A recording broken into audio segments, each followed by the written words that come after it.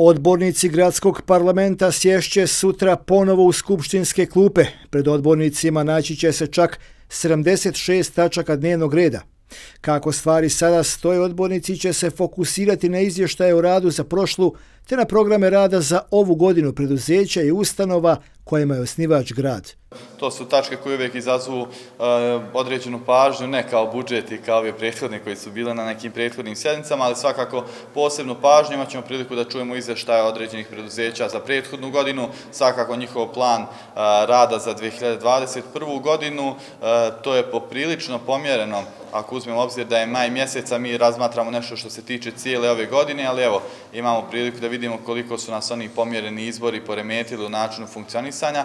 Pred odbornicima će se naći čak 20 tačaka koje se tiču prostorno-planske dokumentacije. Važno je reći da Banja Luku ove godine očekuje prednacrt urbanističkog plana, čime će konačno biti definisane konture našeg grada, kaže banjalučki gradonačelnik Draško Stanivuković. Ujedno ovo je samo uvod u prednacrt koji nas očekuje za nekih 20 dana, tako da će Banja Luka prvi put dobiti prednacrt onda ide nacrt i onda prijedlog urbanističkog plana nakon 35 godina. Tako da onda više neće imati e, ovoliko učestale izmjene regulacijonih planova, prosto e, onda Skupština grada neće izgledati na ovaj način kada imate jednu uređenu oblast i kada ne može svako proizvoljno e, proizvoljno da, da mijenja regulacijone planove onako kako se njemu prohtije i moram reći da po prvi put na ovoj sjednici ovi regulacijoni planovi su već u skladu sa budućim prednacrtom i nacrtom, pošto mi već ovdje u, u kabinetu i odjeljenjima imamo taj prednacrt, pa mi već sada ove regulacione da se već uklapaju u našu buduću viziju za narednih